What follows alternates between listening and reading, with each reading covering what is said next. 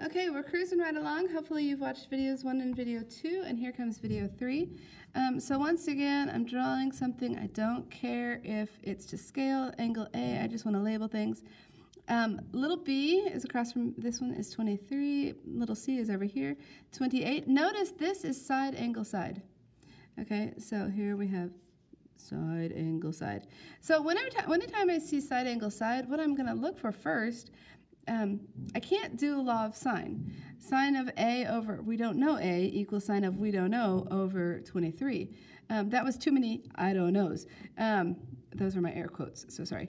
Okay, so, um, so what I want to do is I want to use the law of cosine instead in this one. And so I'm looking to find this side length. So um, I typically just have the, one, the equation memorized um, c squared equals a squared plus b squared minus 2ab cosine c. But in this case, the angle that I have is not angle c, it's angle a. So a squared equals b squared plus c squared minus 2bc cosine a. The, the thing about this is that these, these letters match, and the other letters show up in the, in the, in the middle of the equation. Okay, so I'm going to plug this in. I don't know a squared. I do know that b squared is this is 23 squared plus 28 squared minus 2 times 23 times 28 times cosine of 78. So I'm going to grab my calculator, which I've been using, um, doing video after video after video. Have fun.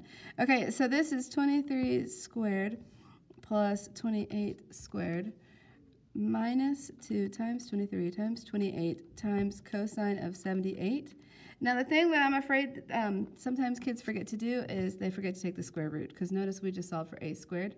Um, but think about it, does that make sense to have a triangle with sides 23, 28, and 1,000? It does not. Okay, so we'll take the square root of that answer. And so our third side, our A value, is approximately uh, 32.3, that, that's going to round up to 30. Okay, so little a is about 32.330 centimeters. Okay, so then the next thing I need to do is I need to find another angle. Um, and I can do that with the law of sine. So we'll say uh, sine of 78 over 32.330. And actually, at this point, I'm going to show you how to store. I talked about that in video two. But I'm going to take that previous answer and store that as, what was it? That was little a. Um, I'm using big A because that's what my calculator has.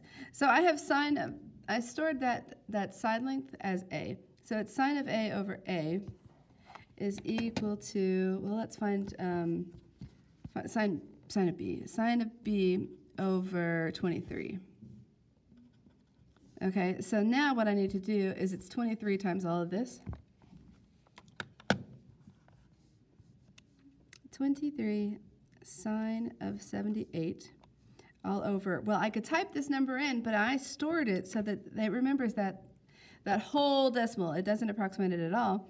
Here's this value, but I don't. I didn't. They didn't ask me to solve for this. Um, that's solving for sine of b, so I need to do second sine of my answer. And so I find that my angle B is about 44.1 degrees.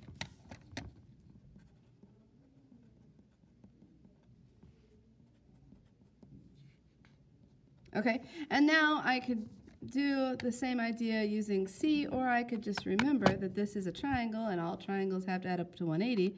Oh, so 180 minus, I had 78 is one angle, and the other one I just found was this 44.1.